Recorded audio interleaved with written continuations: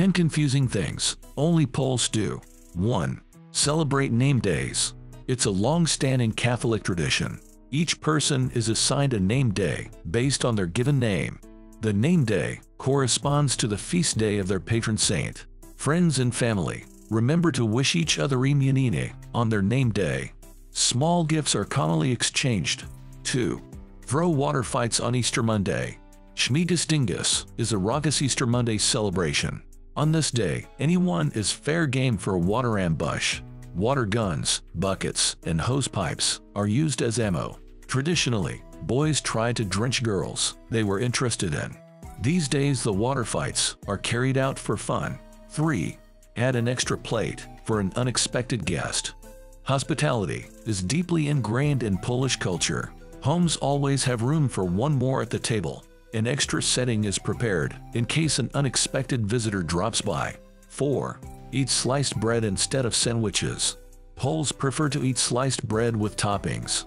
These open-faced creations are called kanapki. The bread is sliced horizontally, not vertically, like sandwich bread.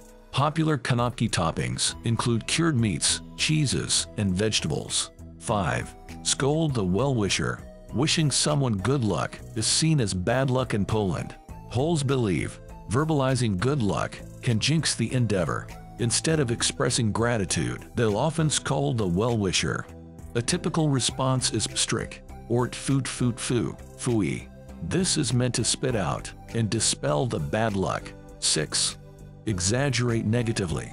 It's viewed as a form of humble modesty. Downplaying one's accomplishments is preferred to boasting. So Poles frequently diminish their successes with self-deprecation. It was nothing special. They'll say of impressive feats. The negative slant extends to daily affairs too. Long grocery lines become the worst lines in the universe. A rainy day is bemoaned as apocalyptic weather. 7. Pick and eat mushrooms from the forest. Mushroom picking is a beloved pastime in Poland. Forests are scoured for edible mushroom varieties. Families have secret mushroom hunting spots. Different mushrooms are prepared in various ways. Some are pickled, others fried, or added to soups. 8. Avoid smiling at strangers.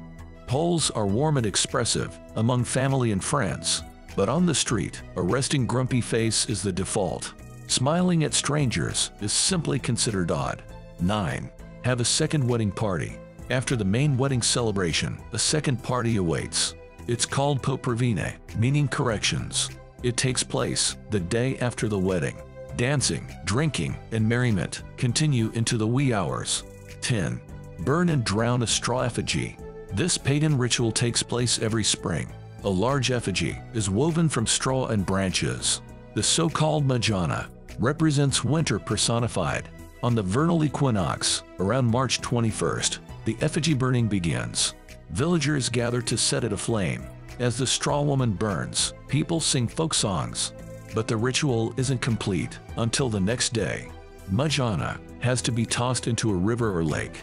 It's meant to fully kill off winter and ensure a bountiful spring.